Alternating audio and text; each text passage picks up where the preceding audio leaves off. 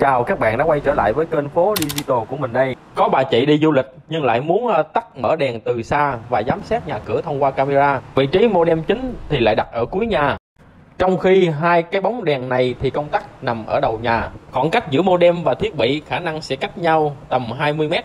Và ngoài ra còn bị ngăn cản bởi ba lớp tường phòng. Bây giờ mình sẽ xử lý bộ mở rộng sóng wifi trước. Sau khi mạng ổn định rồi thì mình mới đến phần lắp đặt thiết bị điều khiển đèn và camera giám sát. Đây là bộ mở rộng sóng 854RE của TP-Link. Tuy nó nhỏ nhưng mà cũng có chút vỏ. Thiết kế thì nhỏ xinh, màu trắng thẩm mỹ, nhìn vào là thấy thích liền.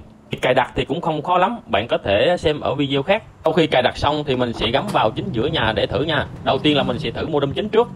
Tốc độ test khi đứng gần modem chính là 52 và 78. Mình à, tiếp tục đi tới bộ mở rộng sóng để test thử bao nhiêu nha. Độ test ở bộ mở rộng sóng là 31 43 tức là hơn 50%. Mình sẽ test thử tắt mở công tắc thông minh và camera bằng wifi kết nối của bộ mở rộng sóng 854RE. Giờ thì mình đi xa cũng không phải lo, mở đèn mà vẫn giám sát được, phải không mọi người? Mình sẽ làm phần kế tiếp là lắp đặt công tắc. Các bạn thấy hay nhớ follow kênh mình nha.